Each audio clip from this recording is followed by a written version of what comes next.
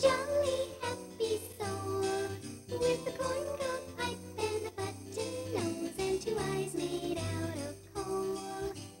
Frosty the snowman is a fairy tale, they say. He was made of snow, but the children.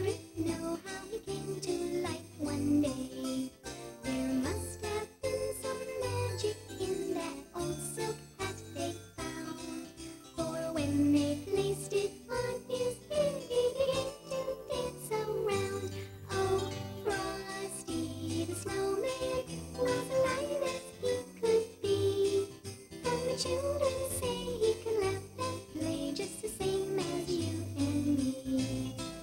Frosty the snowman knew the sun was hot that day, so he said, "Let's run and we'll have some fun now before I melt away." Down to the village with the broom.